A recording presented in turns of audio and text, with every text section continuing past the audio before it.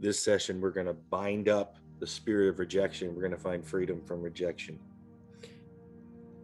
I'm going to read a few verses. I want to start off with Ephesians chapter 2, verse 10. For we are God's workmanship, created in Christ Jesus to do good works, which God prepared in advance for us to do.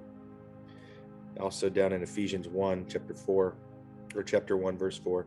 For he chose us in him before the creation of the world to be holy and blameless in his sight. Romans 8, 37. In all these things we are more than conquerors through him who loved us.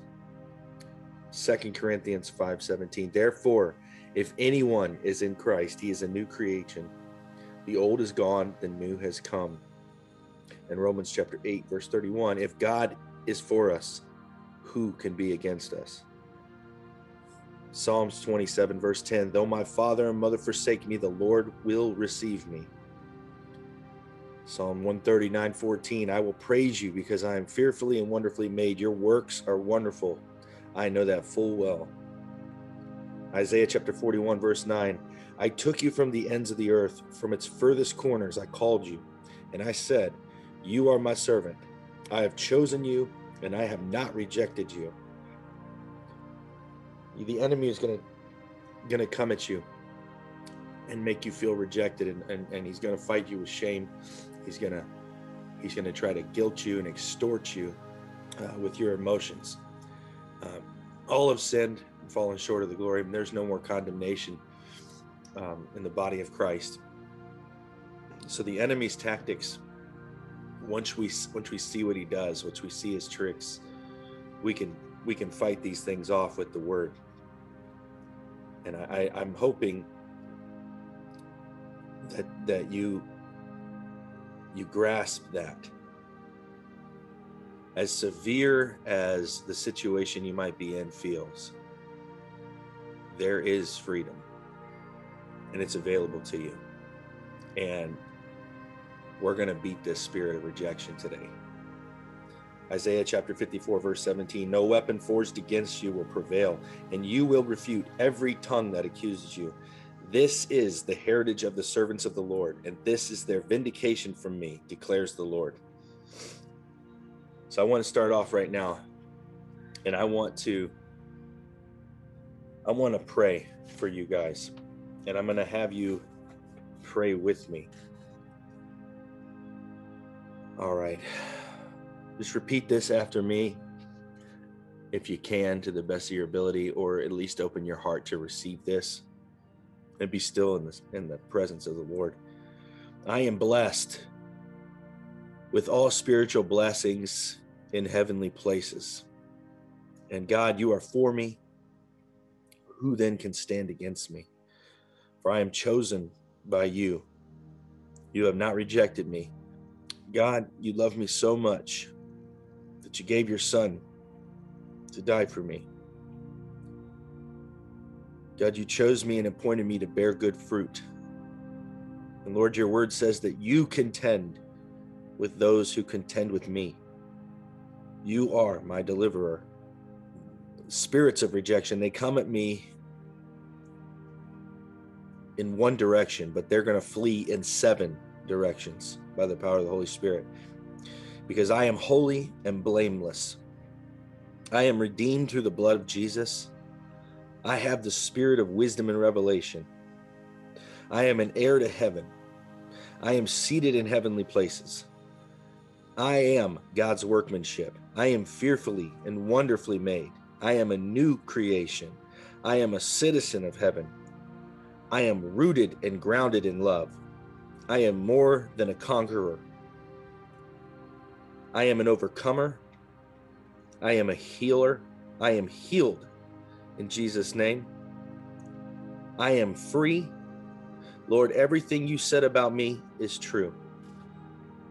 Thank you for freedom.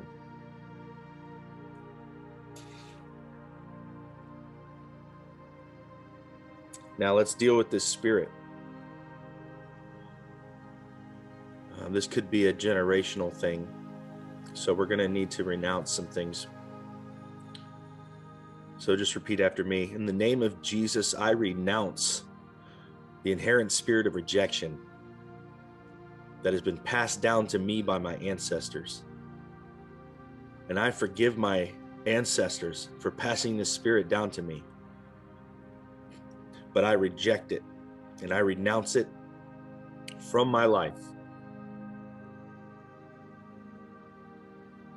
I close every door against the spirit of rejection and I cancel its legal right. Cancel any legal rights that may have given rejection uh, opportunity and authority to operate in my life. And I command the spirit of inherent rejection, the fear of rejection, self rejection, perceived rejection to loose your grip on me in Jesus' name. Now I'll pray for you. In the name of Jesus, I address the spirit of rejection. I, I address the inherent rejection, the fear of rejection, self rejection, perceived rejection, and I cast you out in the name of Jesus. You have no legal right. It has been revoked by the power of the Holy Spirit. And I pray fire against you in Jesus' name to burn you out. Your right to operate has been taken from you, and you have to leave now in the name of Jesus. Never come back. Spirit of rejection, I expel you now in the name of Jesus. I forbid you to operate in this life again. This is a child of God, and it is free.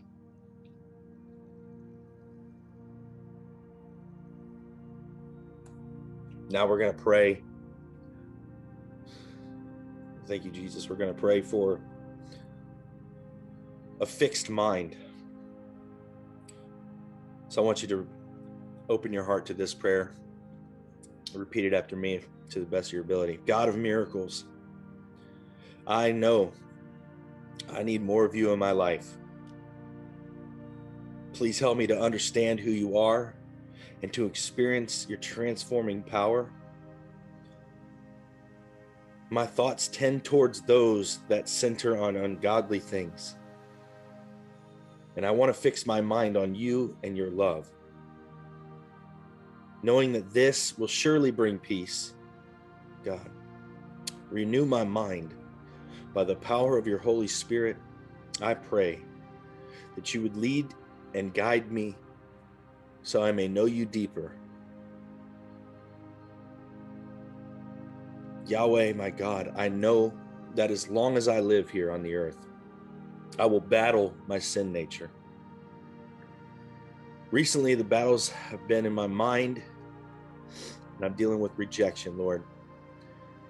But I thank you for your freedom today. I'm begging you to quiet the voices in my head, all the voices except your own. Let your voice be as clear as the birds singing at dawn. And Father, place a wall around me Place a hedge of protection around me to fight for my mind as I seek to follow after you. I surrender everything.